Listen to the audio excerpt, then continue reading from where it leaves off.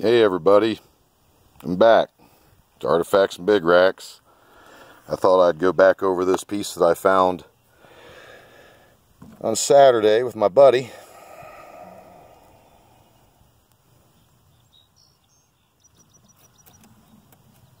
Well, there you go.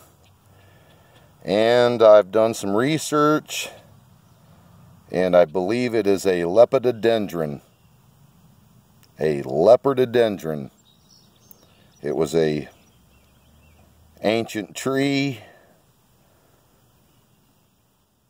Uh, they called it the uh, scaly bark tree in some circles, but a lepidodendron.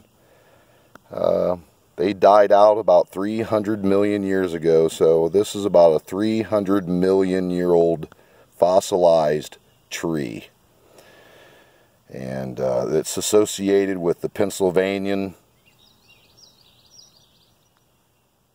and uh, common, I guess. I mean, uh, if you was to find it, uh, limestone areas, shale areas. Good look at that.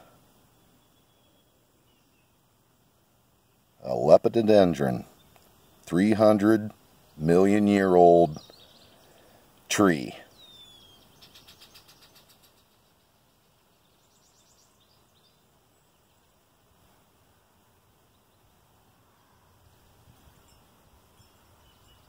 Well, thanks everybody for watching. Uh, for those who are first time watchers, please subscribe. You know, uh,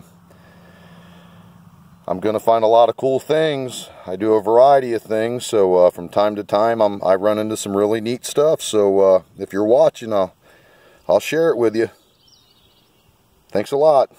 Thanks for watching. See ya.